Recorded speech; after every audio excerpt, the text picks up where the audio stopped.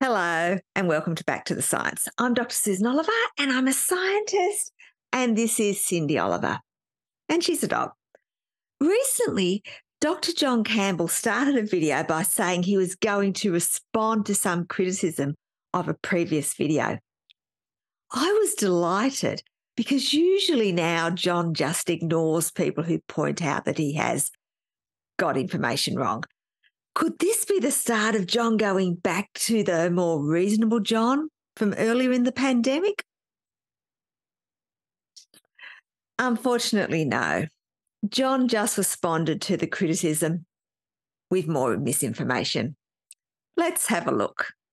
Now, I'm going to start off by um, answering some of the critics about uh, yesterday's video with Senator Rennick and the video we did on the uh, Western Australia um, data that they've published on vaccine adverse reactions. Now, this is the excess mortality in Australia for May uh, 2021. And that's for June, that's for July, that's for August, that's for September. October, it was up to over 7,000. And that's data from the Australian Bureau of Statistics that we looked at uh, yesterday. Now, the critique has been that, well, there's a pandemic going on, you would expect excess deaths. But if we look at this graph here for Australia, we actually see that in 2021, Australia actually didn't have a pandemic. Um, the cases in Australia, well, there were a few there in September 21, but very, very few. Basically, the pandemic in Australia started with the new year of 2022, because, of course, Australia was largely locked down and it's especially the case for Western Australia that was locked down for slightly longer than the rest of Australia as a whole. So we see that the Australian pandemic was really quite delayed. And if we look at that in comparison, say, to the United States, so we see that in the United States, and this is just official cases that have been recorded, we see there was a lot of cases in uh, 2020, 2021 in the United States in blue, uh, but uh, in Australia, we've got the big Omicron wave there in the United States and Australia. But we see while Australian numbers remained high, the United States numbers went down because the whole Australian pandemic was kind of uh, moved along a bit because of their lockdown measures. So, this uh, excess mortality, we can say definitively that uh, the 7,129 excess deaths in October 2021 in Australia were not due to the coronavirus infections per se, at least the vast majority of them, they were due to some other cause. So, if you accept what John says at face value, he seems to have answered his critics, and no doubt his fans are totally convinced. But there are two problems with what he claims. Firstly, you can't actually determine what the mortality from COVID should be in Australia by just eyeballing a graph of cases and pointing out that the cases were lower than the US. But that's only a minor point. The bigger issue is that John is wrong about there being over 7,000 excess deaths in Australia by the end of October 2021. Embarrassingly wrong. He's got this number by subtracting the deaths that occurred in 2020 from the deaths that occurred in 2021. That's not how you determine excess deaths. To start with, the number of deaths in 2020 were actually below normal because the various measures deployed in Australia to control COVID reduced other infectious diseases as well, which reduced our death rate. Also, Deaths in Australia do generally increase each year as we have a population that is both growing and aging. And you can see this trend clearly if you look at the pink line, which follows the early peaks of expected mortality. And I will come back to these two figures that I've just shown you and go over them in more detail later in the video. So, what John claimed were excess death numbers weren't. He just has no idea how to determine excess mortality. Luckily for us, there are people who do. And some of these people work for the Australian Bureau of Statistics. And luckily again for us, They have recently published a report that looks at excess mortality during the COVID 19 pandemic until the end of the first quarter 2023. And this table summarises the information by year. As I previously mentioned, in 2020, excess deaths were negative, with 5,228 less than would be expected. Now, if we go to 2021, which is the year that Johnny's getting all excited about, because it was the year we rolled out the vaccine, you can see that the excess mortality is 2,378, just a bit lower than 7,000. But some of this could be natural variation. So they also include the number of deaths above the usual variation, which is 355. In other words, 355 is a statistically significant excess mortality for 2021. Now, John's claim was that the excess mortality in 2021 couldn't be from COVID because there was no pandemic in Australia in 2021. And therefore, there must be something else that happened in 2021 to cause the excess mortality. Ding, ding, ding. In fact, the number of COVID deaths in 2021 was 1,415, which is, of course, much higher than the 355 deaths that were above natural variation in 2021. In other words, all statistically significant excess deaths can be explained by COVID, contrary to John's claim. So, alas, the old John isn't back. We still have the new John spreading misinformation. Whether this is intentional or due to ignorance or a bit of both isn't entirely clear. Anyway, while we're here, let's have a look at a bit more of the ABS report.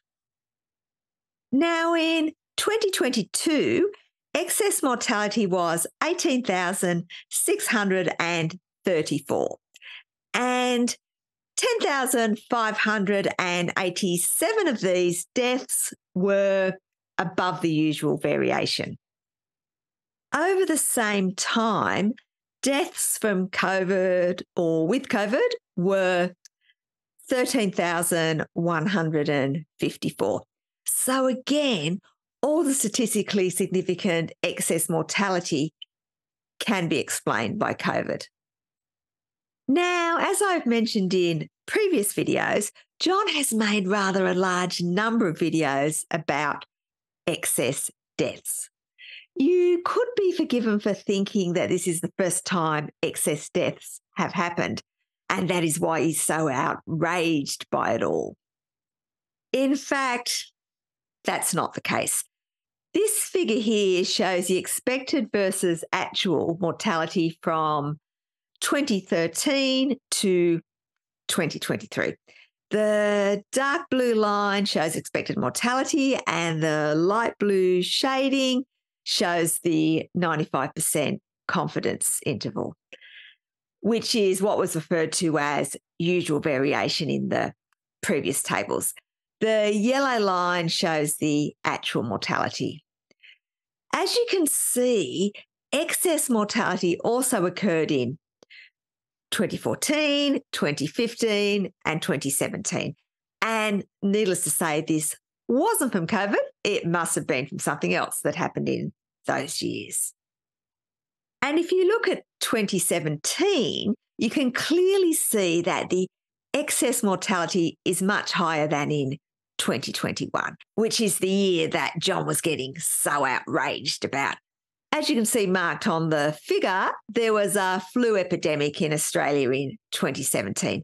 And there were, in fact, 1,255 influenza deaths reported that year, which is slightly less than the 1,415 COVID deaths reported in 2021, even though the overall excess mortality was higher in 2017.